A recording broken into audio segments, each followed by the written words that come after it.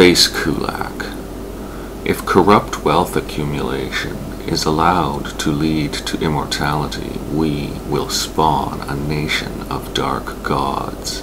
There is a solution. Meek inheritors starting over in a garden, long hair flying, while the rest of us go to Mars and breed with machines, hearty pioneers with silver blood, vast barren estates, with single dandelions in their handmade domes. We will export art made from Mars stone and her subtle pigments.